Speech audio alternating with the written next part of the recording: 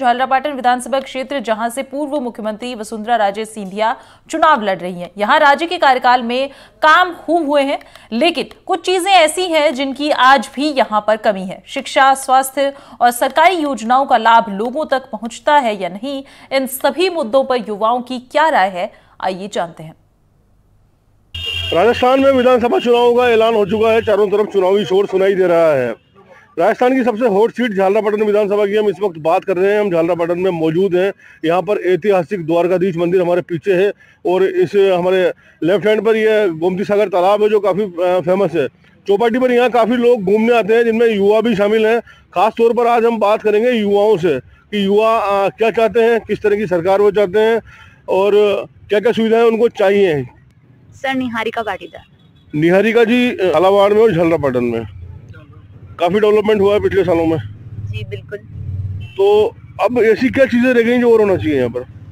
Sir मैं चाहती हूँ कि सर दरा है जो कि काफ़ी ज़्यादा डाइवर्सिटी है उसके अंदर काफ़ी ज़्यादा बायोडाइवर्सिटी है।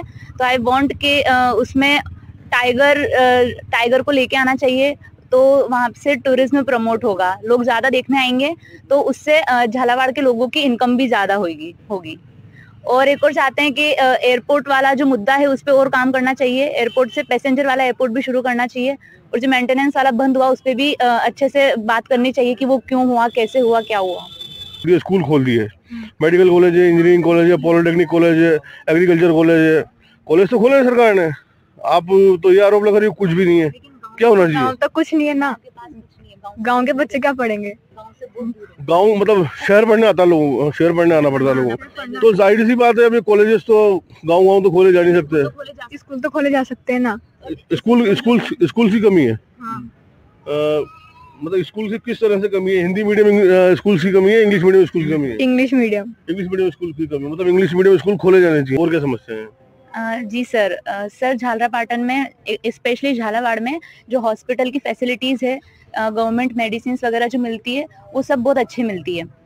Uh, मेरा बात ये है कि uh, अभी राजस्थान सरकार ने कांग्रेस की जो सरकार है उन्होंने पूरे भारत में सबसे पहला ऐसा राज्य बनाया जिसने राइट टू हेल्थ एक बिल पास किया है। तो राइट टू हेल्थ अगर राजस्थान अगर इस uh, इस इस डोमेन में अगर वो फ़र्स्ट आया है तो आई वांट कि इस इस बिल को सिर्फ़ पास ही नहीं रहना दे रह जाए इस पे और काम होना चाहिए। इम्प्लीमेंट होना चाहिए बहुत अच्छी तरीके से इम्प्लीमेंट होना चाहिए ताकि पूरे बाकी जो स्टेट्स है इंडिया के जो बाकी 27 स्टेट्स और है उनको भी इंस्पिरेशन मिले और वो भी राइट टू हेल्थ लेके आए क्योंकि इस बार जब भी कांग्रेस सरकार राइट टू हेल्थ बिल लेके आई है वो बहुत बहुत अच्छा कदम है और बहुत इनोवेटिव कदम है कि लोग वो चाहती है कि यहाँ के लोगों को स्वास्थ्य जो है वो फ्री में मिले अच्छा अभी right to health bill pass हुआ हाँ। और आप उसके इम्प्लीमेंटेशन की बात कर रहे हो हम्म। तो अभी जिस तरीके से वो इम्प्लीमेंट हो रहा है यहाँ पर तो क्या उसमें कोई कमी नज़र आती है जी सर मुझे लगता है सर अभी पूरी तरीके से इम्प्लीमेंट हुआ नहीं है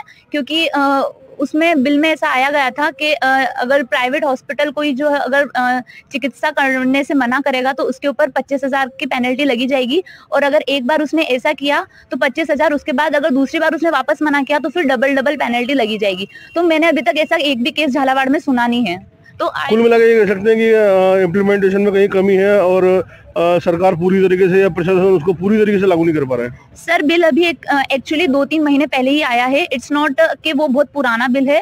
इट्स न्यू बिल बट उसको इम्प्लीमेंट करने में भी बहुत टाइम लगेगा। बट आई वॉन्ट कि अगर राजस्थान सरकार अगर उसको अच्छे से इम्प्लीमेंट करे तो राजस्थान हेल्थ में नंबर वन आ सकता है। देखा हमने झालरापाटन शहर में कुछ युवाओं से बात की अलग अलग तरह की बातें निकल कर आई। कुछ ने रोज़गार को मुद्दा बताया कुछ ने डेवलपमेंट को लेकर बात की शिक्षा को लेकर बात हुई और चिकित्सा को लेकर बात हुई। ऐसे कई सारे और मुद्दे हैं जिनको लेकर हम और भी युवाओं से बात करेंगे और उनसे उनसे पूछेंगे कि यहाँ पर और क्या क्या होना चाहिए। स्वच्छता को लेकर भी बात सामने आ रही है। स्वच्छता के क्षेत्र में भी काम की ज़रूरत है। झालावाड़ से एनडीटीवी, राजस्थान के लिए रियाज खान।